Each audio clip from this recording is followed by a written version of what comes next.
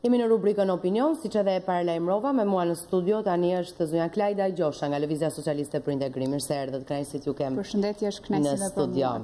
Zonja Gjosha, ju besoj e keni ndjekur, po edhe e prisni në një farë forme lajmin se Komisioni Qendror i Zgjedhjeve sot i ka dhënë mandatin edhe 6 deputetëve të tjerë, e me gjithë po të bëjmë një përllogaritje Të shpejtë, me gjithë zotin Lefter Koka nga Lëvizja Socialiste për Integrim, me Myslim Murrizin dhe Rudina Hajdarin nga Partia Demokratike, shkon në 13 deputetë opozita në kuvend. Keni një koment për këtë?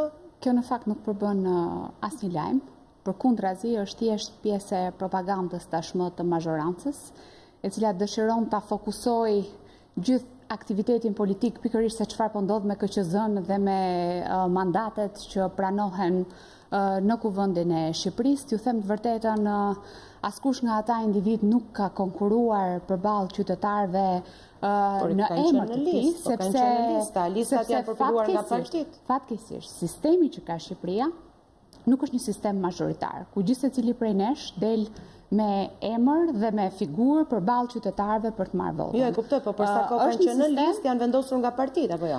Janë përzgjedhur si të tillë të jenë në listë. I cili në fakt e ka çuar Shqipërinë deri në këtë pikë ku ndodhet sot, ku problemi më i madh ende vazhdon të mbetet vota e lirë e qytetarëve të këtij vendi, ku problemi më i madh vazhdon të mbetet ende sistemi i krijuar që ka lejuar jo vetëm blerjen e votës, por tashmë me një fenomen ekstra, siç është pikërisht krimi i organizuar në të gjithë fushatat elektorale, por ajo e 2017-s i vuri dhe kapak kësaj historie që tashmë e ka nxjerrë opozitën zyrtare në rrugë dhe e ka bërë tashmë njësoj me qytetarët e lirë të këtij vendi, pa mandat dhe pa imunitet, ndaj dhe kushdo që vazhdon të pranojë ato mandate, do të mbajë një përgjegjësi përballë qytetarëve përballë kujdo që mund të dojë t'i drejtohet për të shpalosur ndoshta ato idetë e opozitës në thonjza. Po ndërkohë ata do bëjnë opozitën opozita, e vërtetë legjitime opozita në parlament.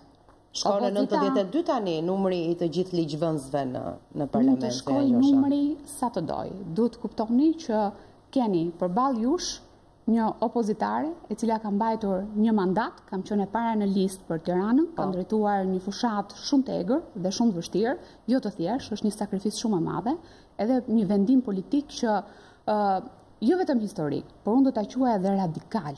por në kushtet në të cilat ndodhet vendi ishte jashtëzakonisht i nevojshëm. Ju erdhi është një vendim ju erdhi keq që ju e latë mandatin personalisht ju. Nuk është zoti Panariti më kujtohet në këtë studio ka thënë pavarësisht se ishte një vendim në unison i një partie politike, çdokush nga ne bëri një analizë vetjake në momentin që preferoi të linte mandatin. Të gjithë ne kemi bërë analizë, të gjithë ne kemi bërë pyetje, do t'jua shpjegoj unë. E para një herë, vota e opozitës nuk kishte më vlerë. Për arsye edhe të numrave, të një mazhorance që është jashtëzakonisht shumë arrogante në përdorimin e kartonëve.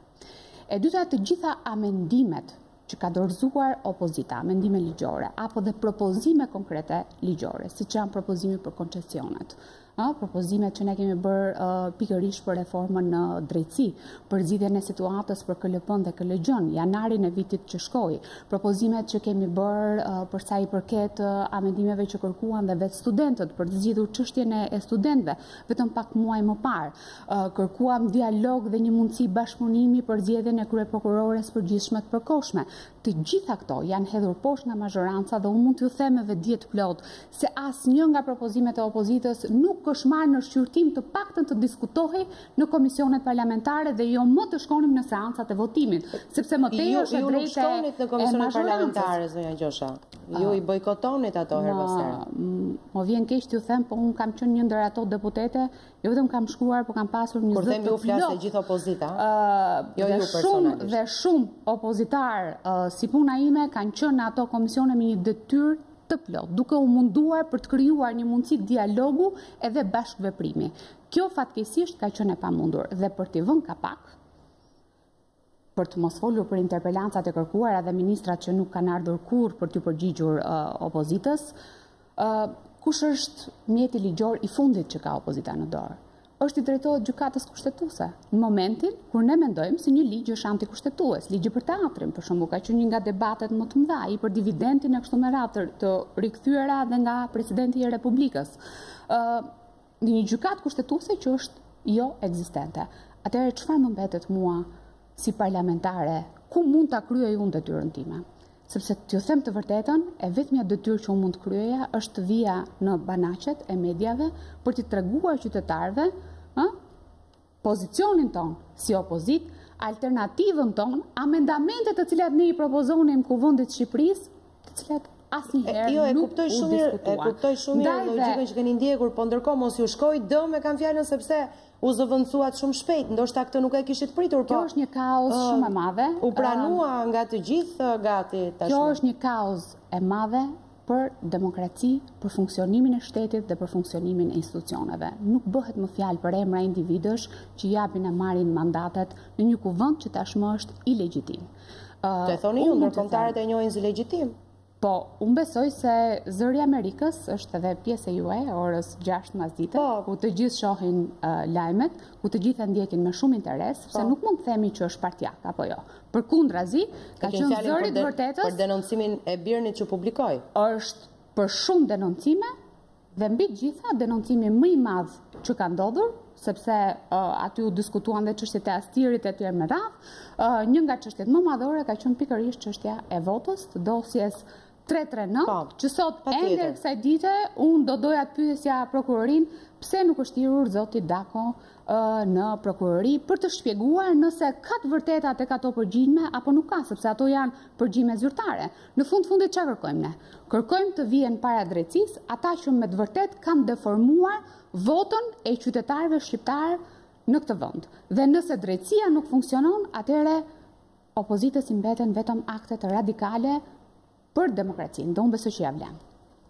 Si do ta rrëzoni qeverinë? Ju vazhdimisht kërkoni rrëzimin e qeverisë Rama, kërkoni krijimin e një qeverie tranzitore, kërkoni zgjedhje të parakohshme, madje flisni me siguri, zonjën Kryemadhi e kam dëgjuar të flasë me siguri se do të ketë shumë shpejt zgjedhje të parakohshme. Nga e merrni këtë siguri? Cili është plani juaj? Sepse ndërkohë zoti Rama thotë, e para vendimi nuk do të ketë qeveri tranzitore, jam i gatshëm të ulem me opozitën për dialog, thotë. Vendimi që është marrë nga opozita është tronditës për qeverinë e sotme. Mos e shikoni situatën apo propagandën që vjen shpeshherë nga qeveria dhe nga zoti Rama si diçka që ajo është vetëm një propagandë që mund të mbulojë pak frikën e asaj çka po ndodh realisht me qeverinë në këtë vend sot. institucionet nuk funksionojnë, gjithçka është e pezulluar. Dhe këto jua them me vetëdije të plotë, jua them edhe nga ata qytetarë të cilët trokasin çdo ditë për të marrë shërbimet dhe nuk gjejnë dot më në institucionet shqiptare. Gjithçka sot është e bllokuar. Pra këtu kemi të bëjmë me një krizë politike, kushtetuese dhe institucionale. Kriza është shumë herë më e thellë sesa ajo çka është diskutuar në qeveri, brenda qeverisë për një bojkot të mundshëm parlamentar apo dhe nga shumë ndërkombëtar, të cilët unë me keqardhje i kam ndjekur sepse shpesh ata e ngatërrojnë termin bojkot me atë të djegies së mandateve. Sot nuk diskutohet më për rikthim në parlament. Sot diskutohet që opozita e ka mbyllur rrugëtimin e saj në këtë parlament dhe në këtë gjendje në të cilën ndodhet parlamenti sot dhe e vetmja mënyrë që opozita të kthehet, opozita legjitime, është nëpërmjet votës së lirë të qytetarëve. Ndaj dhe tronditjen më të madhe qeveria e ka marrë. Ndërkohë, ndërkombëtarët marrin informacionin se aty në parlament ka një opozitë. Përveç... Ata që pranojnë mandatet. dhe uh, edhe kur ende s'kishte ndodhur, edhe kur ende nuk ishte shtuar numri i deputetëve që kishin marrë mandatet, që... ndërkombëtarët e cilësonin atë parlament legjitim. Duhet të kuptoni që ka një diskutim jashtëzakonisht shumë, uh, unë do thoja të drejtpërdrejtë me ndërkombëtarët, edhe nga ana e, e opozitës. Uh, unë i mirëkuptoj ata në të gjitha deklaratat e tyre. E them këtë sepse në vendet e tyre funksionon demokracia, funksionon shteti i së drejtës. Në një vend si Shqipëria, ku nuk ke ku të trokasësh, ku është e pamundur edhe nënave të cilat çfarë nuk i ndodh me fëmijët e tyre, kanë frikë të trokasin në policinë e shtetit, nuk kanë besim tek institucioni i policisë shtetit, nuk kanë besim tek gjyqësori i këtij vendi, Imagjinoni, ë, njerëz të tjerë, problemet me cilën ato ndeshen, për të shkuar dhe për të kërkuar drejtësinë. Kur ne diskutojmë me ndërkombëtarët çështjen e votës, ato thonë duhet patjetër të flasë drejtësia. Por çfarë ndodh? Nëse prokuroria sot ende nuk ka thirrur zotin Dako për të gjitha përgjimet, si mund dhe mund të besoj se do të dalë e vërteta e dosjes 334 apo 184 apo nuk dihet Në ato zyra janë me mijëra dosje sot që flasim ne. Pra, në një vend ku nuk ka demokraci, në një vend ku nuk ka institucione dhe drejtësi, është e pamundur, do të shkosh patjetër në një rrugë radikale. Pse? Për të rithemeluar sistemin i cili sot mund të quhet një sistem i kalbur. Po, po ne kemi dy opozita tani. Ajo që ju e konsideroni si legjitime, po që në fakt s'është në parlament, s'është e ligjshme, por është njësh me qytetarët dhe proteston, Dhe një opozitë që është e ligjshme dhe është brenda në parlament. Në këtë kuptim e kisha. Unë uh, nuk e di se si mund të quani ju. Dhe unë cili është plani juaj? Si jo, nuk e quaj parlamentar. Nuk e quaj unë. Nuk e di se si mund të quhet. Nuk e quajnë institucionet. Jo, jo vetëm nga ana juaj, po nga kushdo që tenton ta quajë legjitime. Këdo i cili sot ka një mandat të paligjshëm sepse vjen nga zgjedhje të paligjshme vjen nga zgjedhje të cilat jo vetëm janë të kontestuara dhe këtë nuk e konteston më opozita. Sot po kontestohet nga përgjime zyrtare të prokurorëve, të cilët janë ndërruar disa herë për të marrë në dorëzim dhe për të shqyrtuar këto dosje. Sot po kontestohet nga i gjithë opinioni publik ndërkombëtar. Mos flasim këtu vetëm për burokracinë e institucioneve ndërkombëtare. Është shumë e rëndësishme të ndjekim edhe median ndërkombëtare se në anën e kujt ka qenë dhe se si e ka portretizuar gjithçka situatën aktuale të cilën po ndodh në Shqipëri. Dhe media në fakt shpesh herë është shumë herë më e fuqishme se sa vetë burokratët. Cili është plani juaj, zonja Gjosha? Si do të vijoni ju më tej? Jua ribëj këtë pyetje sepse kam parasysh përgjigjen e zotit Rama, kryeministrit vendit, i cili thotë se nuk do të ketë në asnjë mënyrë një qeveri tranzitore, por se është i gatshëm të dialogojë me opozitën. Me cilën opozitë do të dialogojë? Me atë që qëndron jashtë parlamentit. Me atë që qëndron jashtë Që kalon mandatet. Po. Pra do të thotë që ai nuk e njeh opozitë ata që deri më sot po quhen legjitimë që po marrin mandatet. Do të thotë që zoti Rama, do të thotë që zoti Rama njeh si opozitë zyrtare të këtij vendi pikërisht ata njerëz që sot kanë lënë mandatet. Unë do t'i bëja një pyetje zotit Rama. Përse zoti Rama nxitoi që brenda 24 orëve të çonte në KQZ në një procedurë joligjore, sepse nuk i paraqiti Këshillit të Rregullores dhe të Mandateve Të gjitha mandatet tona të dorëzuara me vetëdije të plotë, të firmosura nga secili deputet i Kuvendit të Shqipërisë dhe gjithsecili nga ne duhet të shkonte në atë këshill të deklaronte dhe të firmoste se ne ishim të gatshëm të linim mandatet. Kjo është pyetja që duhet t'i japë zoti Rama dhe sot besoj që dialogu i vetëm që i ka mbetur këtij individi është pikërisht përballë qytetarëve ku bën pjesë dhe opozita reale e këtij vendi. A, a jeni ju të gatshëm të dialogoni me zotin Rama? Zoti Rama tashmë duhet dialogojë me ata qytetarë që i ka çdo ditë në protesta në gjithë Shqipërinë, do t'i ketë sërish në datë 16 mars, ku do të jetë një nga protestat më të mëdha që ka parë Shqipëria në këto 29 vite demokraci të brishtë, dhe do të vijojnë deri në largimin e kësaj qeverie. Dhe flasim pikërisht për protestën meqë e ricekët edhe ju. Çfarë pritet të ndodhë në datë gjashtëmbëdhjetë? Do të jetë thoni ju një protestë e madhe, më e madhja thoni ju që është parë ndonjëherë, apo jo? Në fakt këtë togfjalësh e dëgjoj sa herë që ka një protestë të shtunave nga opozita e bashkuar pa mandate. Këtë herë do të jetë përpara kryeministrisë apo jo, jo përpara parlamentit. keni transmetuar të gjitha pamjet e protestave. Po të gjitha, kemi qenë gjithë kohës live.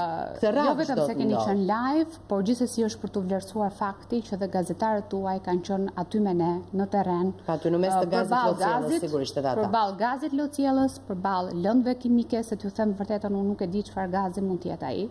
unë e para kam pasur vështirësitë e mia, jo vetëm frymëmarrje, por dhe probleme shëndetësore pas protestave dhe ashtu kanë pasur dhe gjithë qytetarët që kanë qëndruar aty me orë të tëra. Protesta kanë qenë masive, kanë qenë paqësore, pavarësisht provokimeve të ndryshme që kanë ardhur nga individë të ndryshëm të infiltruar uh, brenda uh, qytetarëve normalë të këtij vendi. Uh, dhe Besoj që do të vazhdojmë, data 16 do të jetë sërisht edhe më e madhe, sepse mos harrojmë që kjo është një protestë që bëhet pikërisht pasi opozita ka lënë mandatet dhe ka plotësuar kërkesën e qytetarëve shqiptarë. Dhe edhe unë kam bindjen që jo vetëm do të jetë masive nga qytetarët të cilët jetojnë këtu, por do të kemi përfaqësues edhe nga diaspora dhe besoj se kjo është përfaqësues edhe nga diaspora. Keni marrë garanci për këtë? Është mbështetje e madhe. Keni marrë garanci për këtë që do të ketë edhe përfaqësues të diasporës. Ka pasur disa takime, ka pasur disa reagime edhe nga diaspora, të cilët dëshirojnë të bashkohen. Kur do të mbërrijnë ata ditën e protestës apo një natë më parë, nuk e di si është, çfarë detajesh mund të na përcillni këtu? Kjo është një çështje që i takon atyre për të vendosur se kur do t'i bashkohen opozitës edhe zërit saj. Do të ketë episode të dhunshme apo ju do të bëni thirrje për t'i ndalur ato episode? Asnjëherë opozita nuk ka bërë thirrje uh, për episode të dhunshme, as për dhunë, përkundrazi, Opozita ka luajtur, besoj, të paktën përfaqësuesit uh, kryesorë, ka luajtur një rol të jashtëzakonshëm për të ndalur edhe atë mllef le ta quajmë të qytetarëve të cilët kundrejt institucioneve, kundrejt kryeministrit, kundrejt provokimeve që kanë ardhur nga policia e shtetit apo nga garda e Republikës, që edhe në momentet më paqësore të tyre ata janë goditur nëpërmjet gazit lotsjellës dhe nëpërmjet atyre plumbave që vinin nga nga lart të gomës, por që gjithsesi janë një mjet për t'i për t'i ngacmuar ata dhe për t'i larguar nga nga protesta. Nuk ka pasur dhunë. Edhe atëhere kur u tha se kishte dhunë, realisht nuk ka pasur. Ne që kemi qenë në terren, kemi parë po, kemi parë një 85 vjeçar që kërcente tek dyert e kryeministrisë, nëse kjo quhet dhunë, pastaj kemi po, problem me perceptimin jo, e kësaj fjale. Ne kemi parë se si disa është tentuar të thyhet kordoni i policisë, për shembull, se si u godit institucioni jo, i kryeministrisë, jo. se si u thyen xhamat. Jo, ne kemi parë të kundërtën, ne kemi po. parë se si policia e hapi gardhin për të provokuar njerëzit dhe për t'i vendosur ata më pas të shkonin drejt kryeministrisë. Kjo është e vërteta dhe besoj që duhet ta themi ashtu siç është. Zonja Gjosha, kur flisni me aq siguri për uh, faktin se vendi do të shkojë në zgjedhje të parakohshme përpara atyre vendore, uh, nga e merrni këtë siguri? Pse jeni të bindur që do të ndodhë kështu?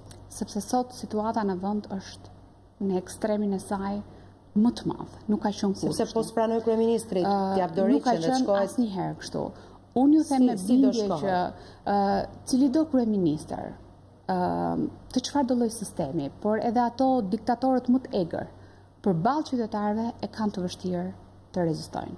Ndaj dhe unë këtë e them me bindje që shumë shpejt qeveria do të japë dorëheqjen dhe do ta çojë vendin në zgjedhje të parakohshme dhe kjo për të mirë të qytetarëve shqiptarë të Shqipërisë europiane. Sa më shpejt të ndodhë kjo, aq më shumë do të parandalojmë situata të vështira në vend.